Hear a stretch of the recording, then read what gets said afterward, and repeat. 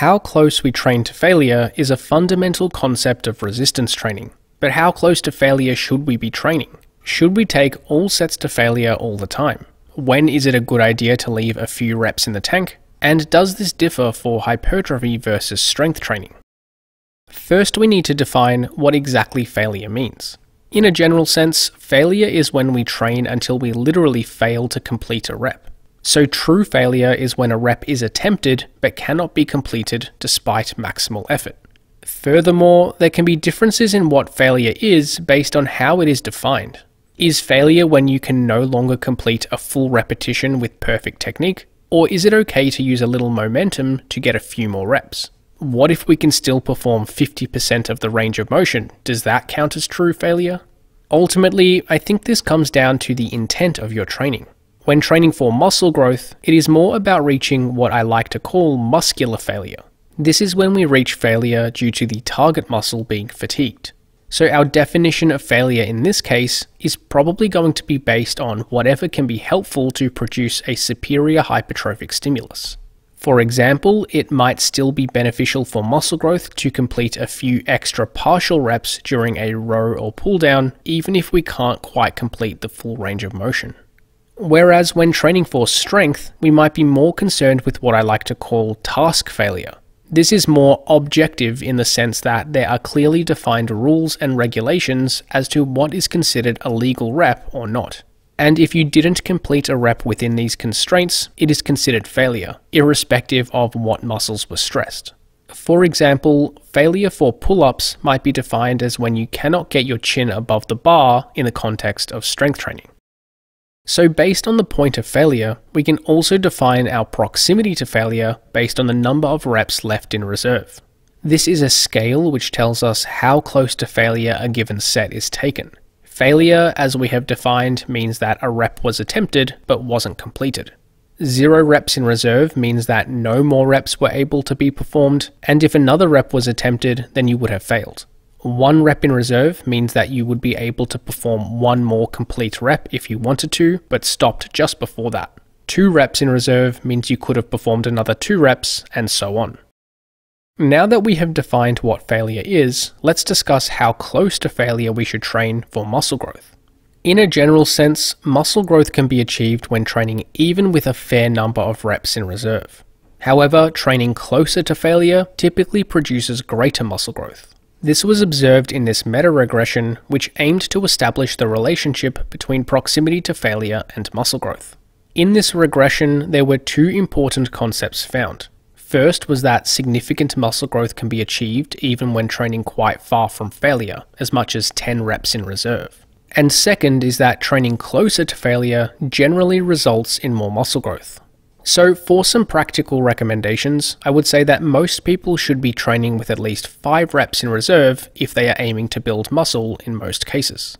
And for those who want to maximize muscle growth, it is probably better to train closer to failure, taking each set at least 2 reps in reserve. Furthermore, it is also kind of possible to train beyond failure in some cases. Essentially, there are some strategies which can allow us to continue lifting even after failure has been reached. For example, partial reps can be used to perform more reps once full range of motion failure has been reached. But is this effective for muscle growth? This study compared the effects of performing calf raises with two different failure definitions. 23 untrained men performed 3 to 4 sets of 10 to 20 reps of single leg calf raises for 10 weeks. One leg trained to failure, defined as being able to perform the full range of motion. So if they were unable to fully plantarflex the ankle, the set was stopped. The other leg trained with a full range of motion until reaching failure 2. However, the set was then continued with a partial range of motion until they essentially couldn't perform any calf raise at all. It was found that both legs experienced increases in gastrocnemius muscle thickness, but a little more growth was seen in the leg training beyond failure.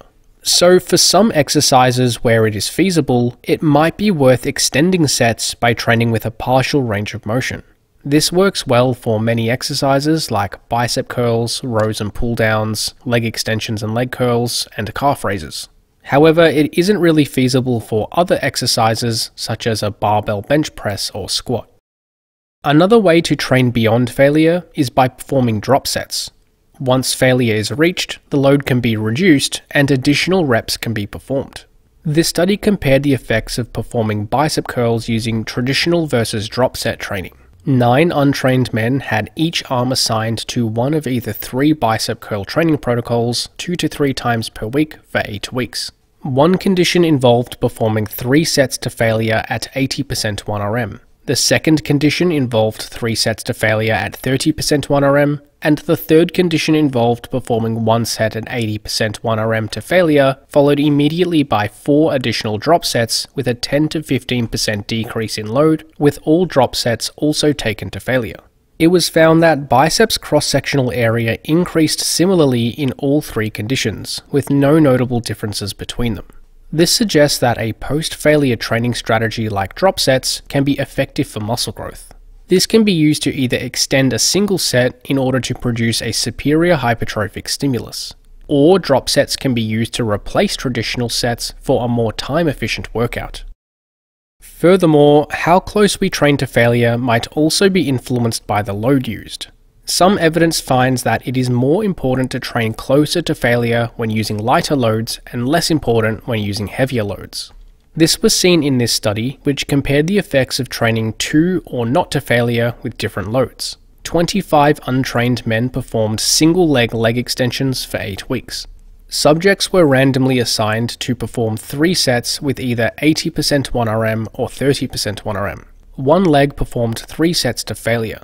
The other leg performed 60% of the reps achieved in the failure protocol and performed as many sets as it took to reach the same volume load. It was found that both legs training with 80% 1RM saw similar increases in quadriceps cross sectional area. The leg training to failure with 30% 1RM also saw similar increases as the 80% condition. However, the leg training with 30% 1RM not training to failure saw significantly less growth. So, for some practical recommendations, when training with less than 10 reps, training with no more than around 3 reps in reserve would be sufficient to near maximize muscle growth. When training in the 10 to 20 rep range, we probably want to train with no more than around 2 reps in reserve, and when training with more than 20 reps, it might be necessary to take each set at least 1 rep before failure to maximize muscle growth. Now let's move on to strength training. How close to failure should we train when it comes to strength gains? Well, the same meta regression also established the relationship between proximity to failure and strength gains. Unlike hypertrophy, there was no significant effect of proximity to failure on strength. Importantly, it should be noted that this analysis only included studies which compared different proximities to failure that used the same load between conditions. So essentially, this tells us that the load on the bar is what is primarily driving strength gains rather than how close a set is taken to failure. And even though proximity to failure doesn't really seem to influence strength gains, we might need to train closer to failure in order to accommodate load increases. Since heavier loads produce greater strength gains, eventually we need to increase load on the bar to get stronger and at some stage, load will increase to the point at which you are already close to failure even after performing only one rep. So, as a result of lifting heavier weights, you will probably naturally need to train closer to failure anyway. Although proximity to failure isn't really something that we need to focus on for the main strength lifts, what about accessory lifts? The goal of accessory lifts in a strength routine are generally to grow the muscles which are primarily used in the strength lifts. This is because a bigger muscle will provide more contractile tissue to contribute to force production during the strength lift. So for accessory lifts, a more hypertrophy focused training approach is usually taken. This means higher reps, lighter loads, and training closer to failure, since that is what tends to produce the best muscle growth. So for accessory lifts, we probably want to intentionally train close to failure for the purposes of maximizing muscle growth. Next, let's cover how proximity to failure influences fatigue. Generally speaking, training closer to failure is more fatiguing. It tends to result in greater performance decreases in the hours and days following training, greater muscle soreness, and greater psychological fatigue. This was seen in this meta analysis, which compared the effects of training to failure versus not to failure on different markers of fatigue. It was found that training to failure resulted in greater decreases in performance, a greater metabolic response, more muscle damage, and a higher perceived fatigue compared with not training to failure. And while this may seem unfavorable, fatigue is not necessarily a bad thing. Fatigue is just a part of training and part of the adaptation process. If training is disruptive enough, it causes fatigue. But we then adapt to the training stress and recover from the fatigue. So if we try to avoid fatigue at all costs, we may be limiting the training stimulus which causes the adaptation in the first place. That being said, we probably want to limit unnecessary fatigue if it doesn't contribute to the stimulus we are after. Furthermore, we are also able to adapt over time so that the same training stimulus causes less fatigue. Once you become accustomed to training close to failure, it becomes less fatiguing. For example, this study compared the fatigue induced by resistance training in an untrained versus trained state. 10 untrained men performed the bench press and squat for 3 sets of 5 reps with a 10 rep max load. They then underwent a 10 week training program before repeating the same protocol once again. After the first training session, it took around 48 hours for performance to recover. But after the training program, lifting performance was back to baseline within 24 hours. So, what does all this mean with regards to how close to failure we train? Well, it just means that we might decide to train a little closer or further from failure depending on our current goals and context. If you want to maximize muscle growth at all costs, then you probably want to train to or very close to failure. You will induce a little extra physiological and psychological fatigue, but it comes at the benefit of a little extra muscle growth too. But for some people, the fatigue cost might not be worth the small hypertrophic benefits. These people might decide to leave a few more reps in the tank of each set in order to get a good stimulus without excessive fatigue. And if you have some sort of event that you want to be in your best condition for, it is probably best to avoid training too close to failure within the 48 hours leading up to it. For example, if you have a sports match of some sort that you want to perform well in, then you might decide to train a little further from failure the day or two before. Or if you are simply mentally fatigued from other life stresses, then you also might decide not to train as close to failure to avoid unwanted psychological stress in your life. And lastly, it is also worth touching on safety. Training to failure can be a little dangerous on some lifts. Specifically, training to failure during a barbell bench press or back squat can be injurious or potentially fatal if you are alone with no safety spotters. I think we all know this, but it is just a reminder that the small additional gains you might get from getting that last rep are probably not worth the risk if you were training alone.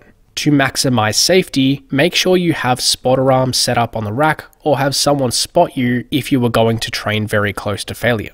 Or if you are bench pressing alone with no safety spotters, don't put the clips on the ends of the barbell so that you can at least slide the weights off if you get pinned.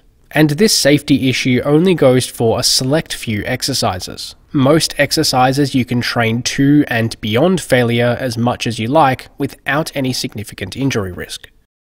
In summary, let's recap what we have discussed.